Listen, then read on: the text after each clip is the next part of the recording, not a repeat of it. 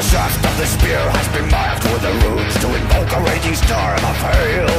It is marked with the sign of the sun and the moon and shall grant us the force to prevail. I am Erilaz, war chief of Gothic blood, and I chant to cleanse my tribe of fear.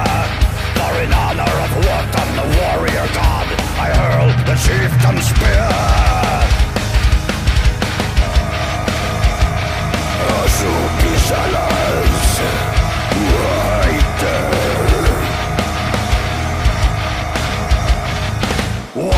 I bid thee receive the souls of my valiant tribesmen slain.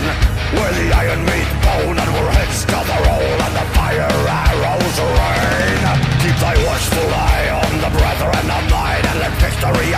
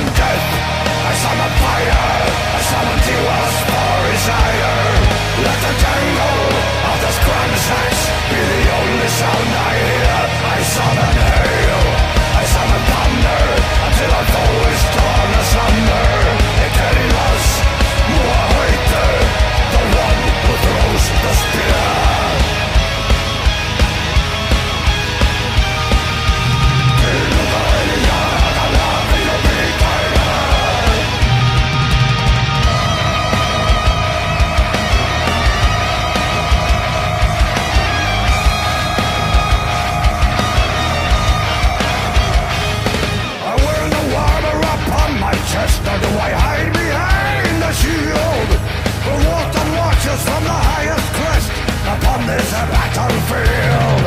I shall slay and burn, and slay